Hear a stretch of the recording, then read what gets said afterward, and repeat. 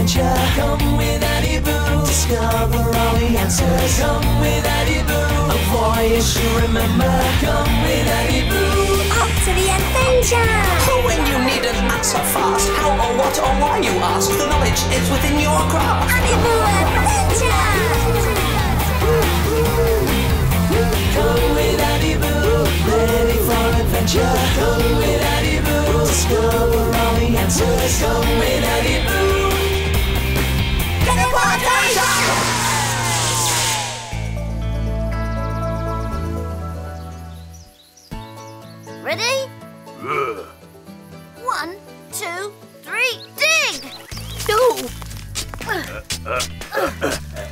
What's going on? Adiboo, Lucy, stop, stop, stop! But you're making holes in my garden. Yes, it's a competition. The first one to reach the other side of Celesta wins. What? But Celesta is made of solid rock. It would take you years to get through it. Uh, Lucy, stop now. Oh, poor Lucy. So then is the Earth made of rock too? It's more complicated than that. The best thing is to go and see. Great! Lucy, oh, Adela, let's go! Hey! Wait for me!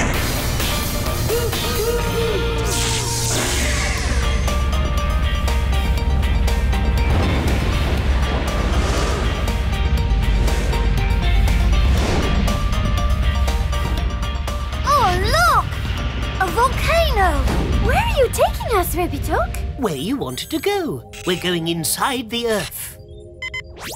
Think of the Earth as a peach. The thin skin that protects it is the Earth's crust. At its centre, there's a stone or core, and between them both, the Earth's flesh, known as the mantle. Yum. Ah. Boozy, even you'd have trouble eating a peach as big as the Earth.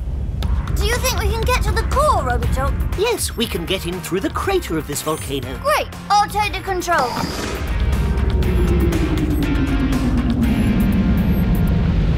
Macro miniaturization!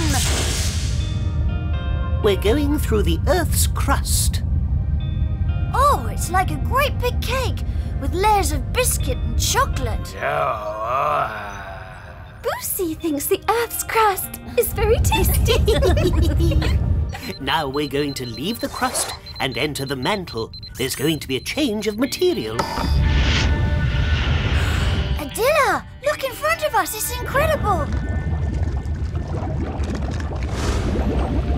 What is it?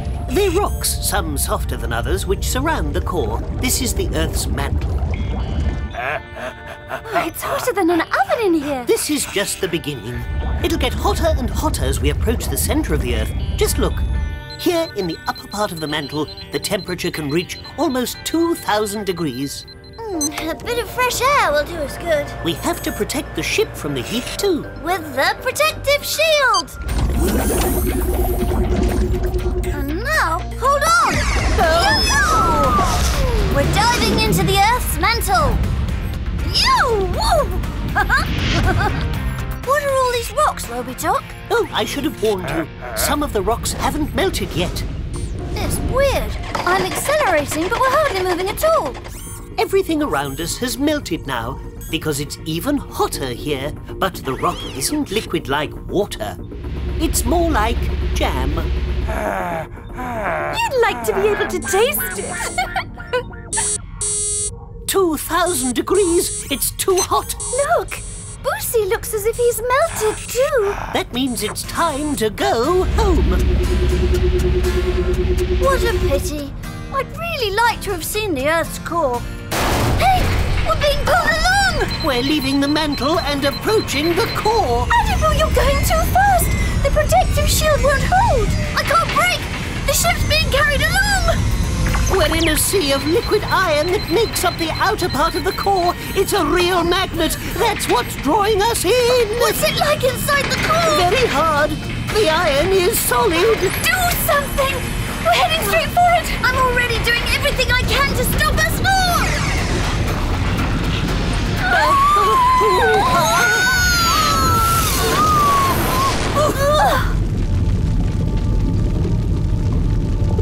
Wow! Look, it's great! We're at the center of the Earth!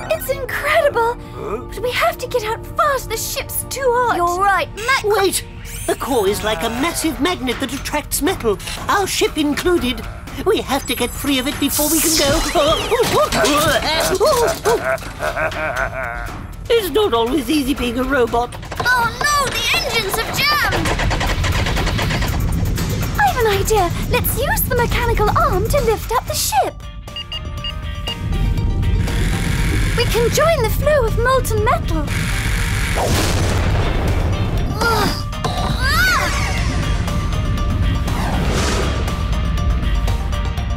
Ah, that's better. And now, macrometerization! Back to Celesta!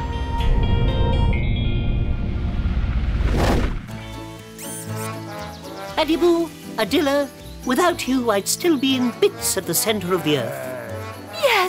After all that, it's great to be back.